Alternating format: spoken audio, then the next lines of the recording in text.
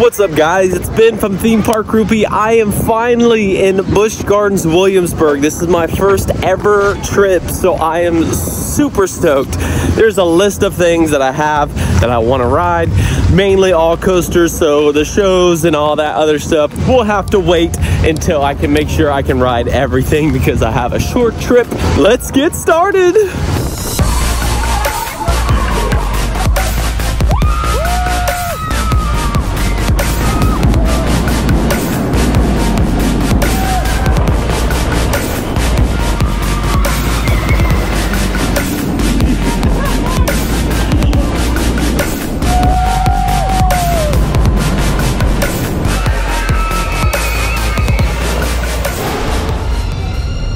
About what's new and exciting here at Busch Gardens. Busch Gardens Williamsburg has recently introduced two exhilarating roller coasters that has everyone buzzing. The first coaster is Pantheon, a record-breaking multi-launch coaster that will leave you breathless.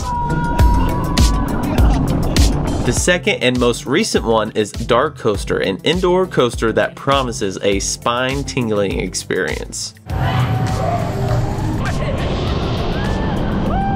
Alright, let's get this tour started. We're here in the England section of the park where you can immerse yourself in the charm of old world Europe. The park is now open, so let's go check out DarKoaster Escape the Storm. So everybody is rushing to DarKoaster. There's two ways to go. The map told me to go left, so I started going left, and then it got stopped by a train. Literally, the path gets blocked by the train. So everybody's going back the other way.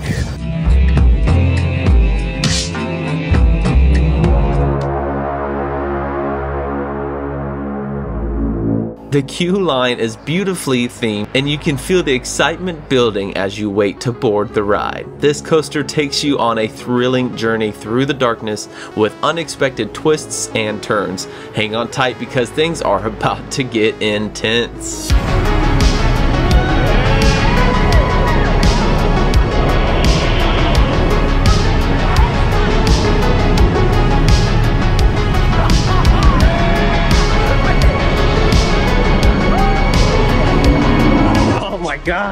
I literally just got off of DarKoaster. What an awesome attraction. I am a huge indoor ride fan, indoor coasters. That's why the Mummy is one of my favorite rides of all time. I love coasters and I love it being indoors. You're just blasting through these launches and the air is just blowing in your face. It's like a real intense space mountain. Literally, you have no idea where you're going most of the time, but it is super thrilling.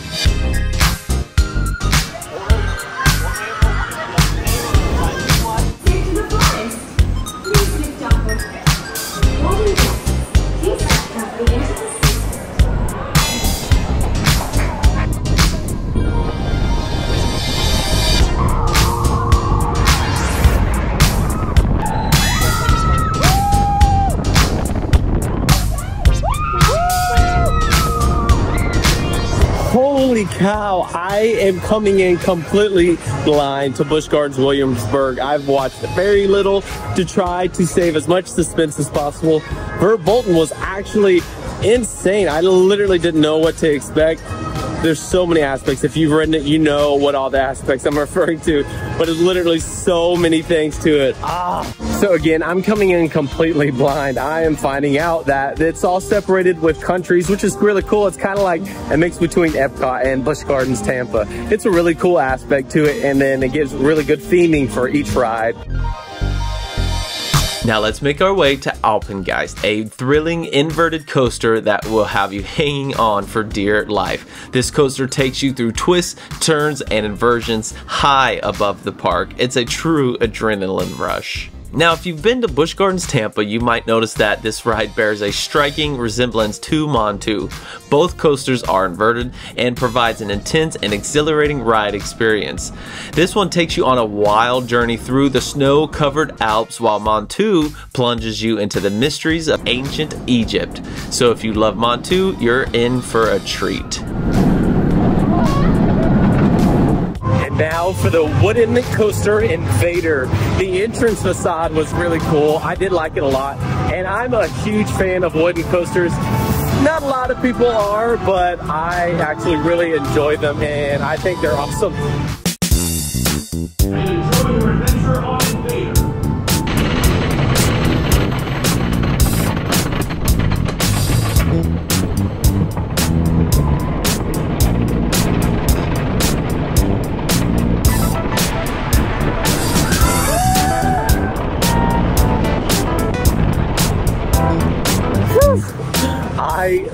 Love wooden coasters. I think they're awesome. The shakiness, it really doesn't do anything to me. I, I can I totally understand that I might give someone some nausea or something. There's difference between a shaky steel coaster and a shaky wooden coaster. To me, I find wooden coasters to be super thrilling and so much fun. The Busch Gardens Railway is a charming train ride that takes you on a leisurely journey through the park. It's a great way to relax, enjoy the beautiful scenery, and save your feet by taking you to different areas of the park. Who can forget Loch Ness Monster, a legendary coaster that has been thrilling guests since 1978? With its iconic interlocking loops, this coaster is a true piece of history.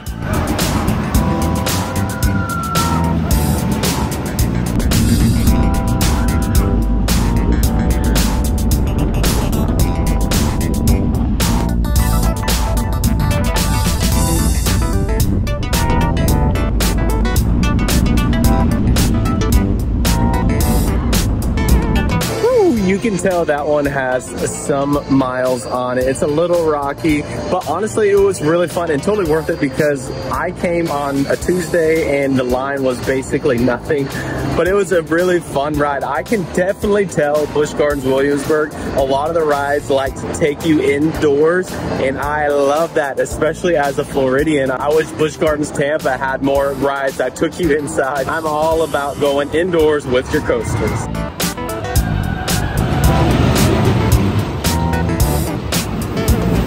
If you're in the mood for a more relaxed experience, take a scenic cruise along the Rhine River. On the Rhine River Cruise, it's a peaceful and beautiful way to enjoy the park from a different perspective.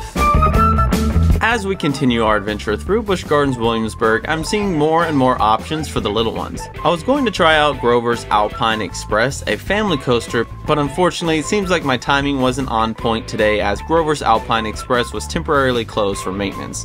After the recent incident at Carowinds Fury 325, I am more than happy to wait for inspections and maintenance to be completed. Now let's make our way to Pantheon, the park's record-breaking roller coaster. This coaster boasts four powerful launches and reaches speed up to 73 miles per hour. It's a true adrenaline rush from start to finish. I can't wait to show you this incredible coaster in action. Hold on tight because we're about to experience the thrill of Pantheon.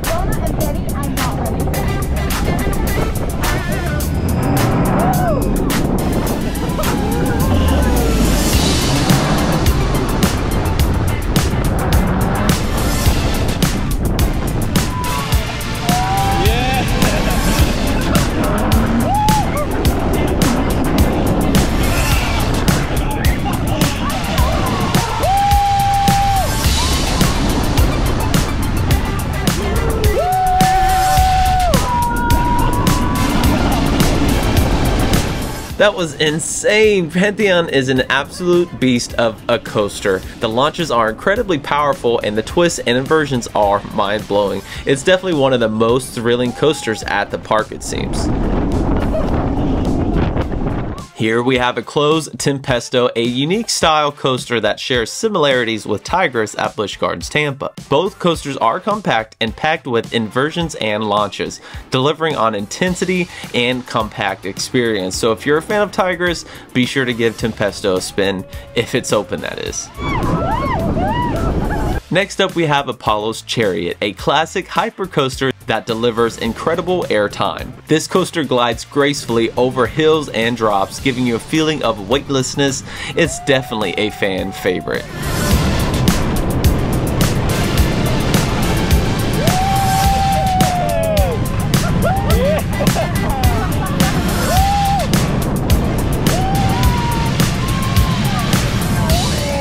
Apollo's Chariot was awesome. It did give me strong Mako vibes from SeaWorld in Orlando. 73 miles per hour. You're literally just cruising. You're like, ah, so fast and so much airtime. That was one of my favorites so far. So I've completed pretty much everything on my list so far as far as coasters goes besides Griffon. I'm going to take a break from the coasters and check out all the water rides. Now let's cool off with Escape from Pompeii, a water ride that plunges you into the heart of volcano eruption. Get ready to get wet.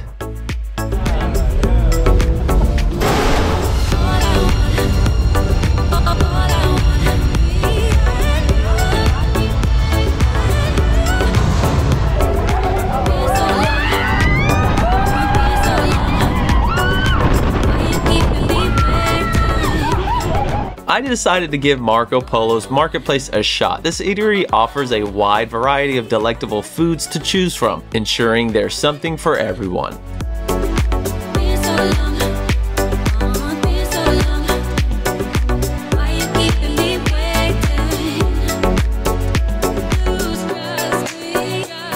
I opted for the chicken parmesan. The portion size was generous and I must say I devoured every last bite. It was simply delicious. What made my dining experience even more enjoyable was the fantastic live music playing in the background.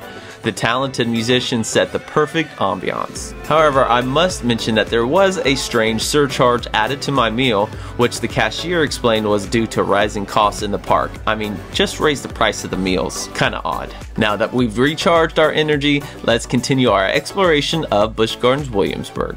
Let's not forget about the classic rides here at Busch Gardens Williamsburg. Le Scoot is a traditional log flume ride that will have you splashing down into the water with a big smile on your face.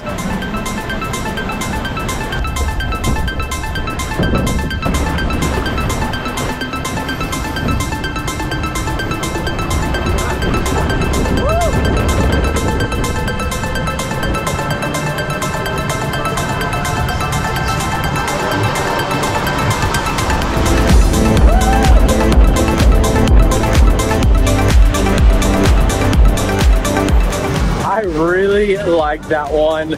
Typically what strays me away from the water rides is because I don't want to be absolutely soaked all day while walking around. But that one, you barely get wet. I'm sure it can change. I only had one person in the car, it was me. So if you had a ton more people, the splashes might be more. So you may or may not get more wet than I did.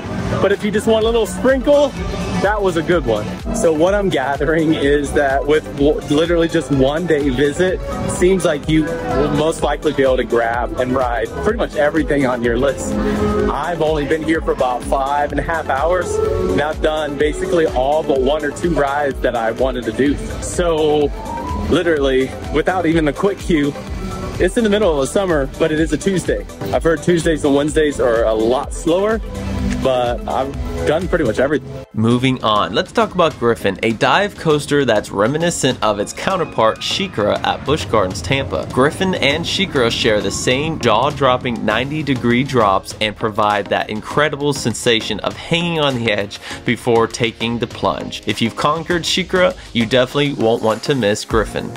So the last 45 minutes has been kind of a bust. I went to go ride DarKoaster for the third time, so again, I'm getting greedy, but it went down. So I go all the way over to ride Griffon because I haven't done that one yet. And there's a storm approaching and that one's down. So I'm like, okay, I got one more water ride left, Roman Rapids. So I, I truck all the way from one side of the park to the other. The ride's down. So I'm not having great luck. I'm gonna see if Griffon is back open yet because I don't see any more storm clouds. We'll see.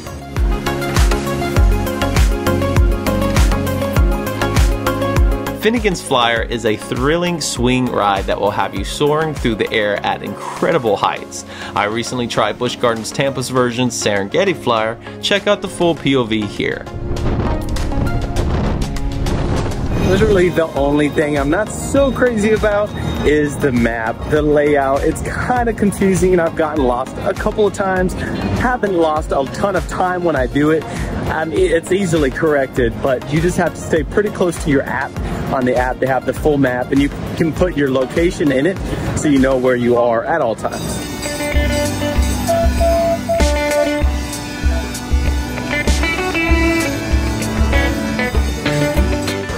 So Griffon is still down due to inclement weather, even though it's beautiful outside. Such a bummer. I it was my own fault. I pushed it off until the end of the day. I wanted it to be my last thing I did, and it wasn't even the last thing. I didn't even get to do it. I'm trying not to let it bum me out though because I really have had such a great day. I got so much done. I really am so grateful I was able to come and experience what I got to experience. Just know this stuff is very high tech and it takes a lot to keep running. So you do run into the possibility of it going down temporarily during your visit. I am super grateful and I definitely plan on posting more from all the content that I got today at Busch Gardens Williamsburg. So make sure you're subscribed and you click that bell so you don't miss anything. If you did like this video, go ahead and hit that thumbs up and thanks for watching Theme Park Groupie.